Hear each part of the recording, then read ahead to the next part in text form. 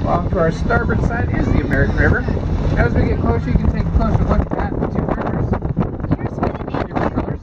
American and Sacramento. The American River starts higher up in the Sierra Nevadas, going over granite, rock, boulders, and gravel. Flushing down into Folsom, then going into Nimbus.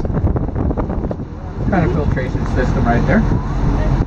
So it's giving it this nice blue color. And the Sacramento, on the other hand, is kind of brownish green looking color. Although it's too fed by numerous mountain rivers and streams, it is fed by the Muddy Valley Creek flowing through the low-lying Sacramento Valley. The visible line where the two rivers converge, that is called the confluence of the river. It's also known as a very fertile fishing ground. Up the American River, there is that green bridge. That is Jibboom Street Bridge. You may notice all those cars and trucks driving across it. That is I-5 running parallel. Jibboom Street Bridge gets its name from the early gold rush era. The Riverboats would line the banks here. It'd be held in place by bowsprits called Jibbooms. Thus, Jibboom Street got its name.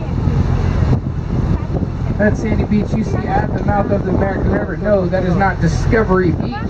That is Tiscornia Beach. Tiscornia Beach is part of Discovery Park, which is a 302-acre park. It also has a beach and a boat launch ramp. One of the unique aspects of Discovery Park is designed to flood in the winter months. Oh. This design was put in place by the Sacramento Area Flood Control, and it looks very